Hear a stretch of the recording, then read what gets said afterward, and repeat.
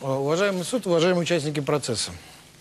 Считаю, что э, в ходе судебного разбирательства вина подсудимых обоих доказана полностью, нашла свое подтверждение, а, в частности и в показаниях свидетелей.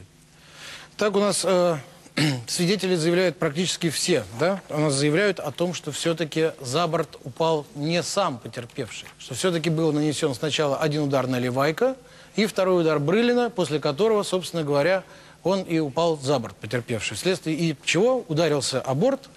Далее э, эти два подсудимых вызвались якобы искать э, подзащитного. Мы его спасали вообще-то. Спасали.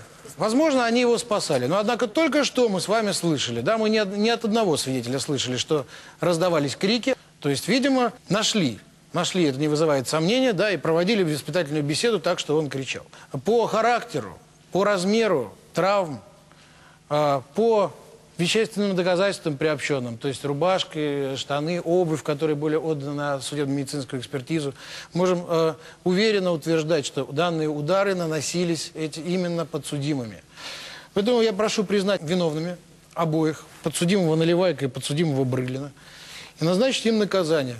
Подсудимому Наливайка Степану Михайловичу в виде э, э, лишения свободы э, на 48 лет, а подсудимому Брылину Егору Васильевичу Это за свое еще 8 лет.